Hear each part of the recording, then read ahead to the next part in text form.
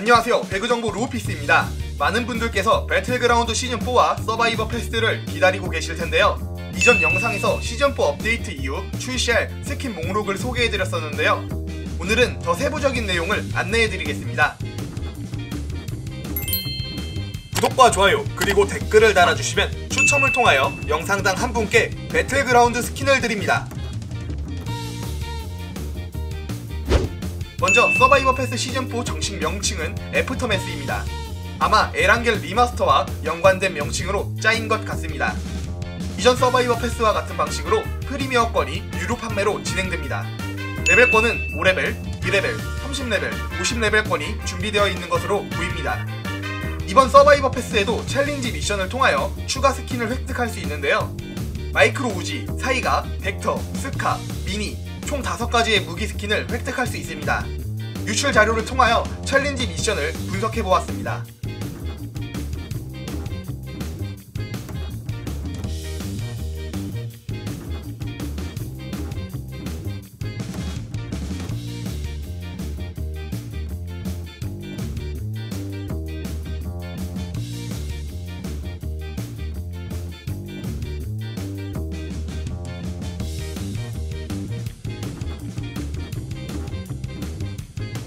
지난 Survivor Pass 시즌3보다는 challenge 미션 난이도가 낮아진 것 같습니다.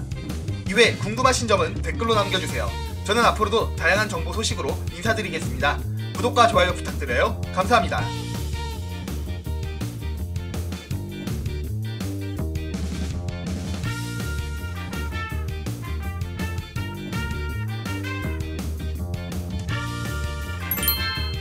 구독과 좋아요 그리고 댓글을 달아주시면 추첨을 통하여 영상당 한 분께 배틀그라운드 스킨을 드립니다.